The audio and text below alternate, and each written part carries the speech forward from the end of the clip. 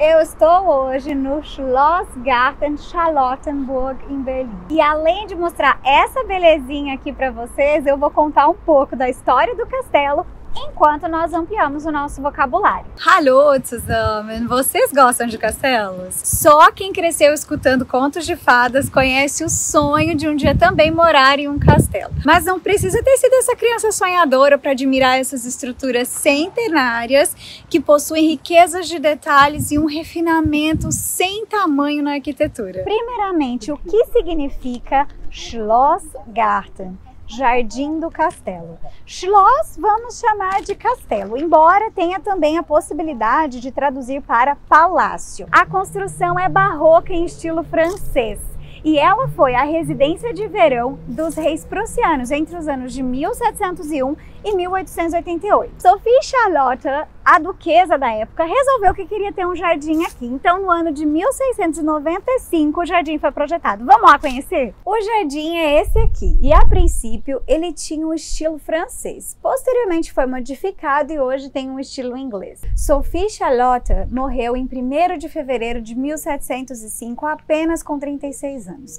E o rei colocou o nome dessa região aqui de Charlottenburg em sua homenagem. E até hoje é o nome do bairro. Nos fundos do castelo, nós temos também essa lagoa artificial, em alemão der Teich, que dá todo um charme para o local. Atualmente, o jardim é um local de passeio para os moradores de Berlim e atrai, como todos os parques, ciclistas, corredores, pessoas que querem fazer piqueniques e, claro, turistas, como sempre. Uma curiosidade muito interessante é que casais vêm aqui fazer pré-wedding e até quando eles já casaram, eles vêm aqui tirar fotos vestidos de noivo.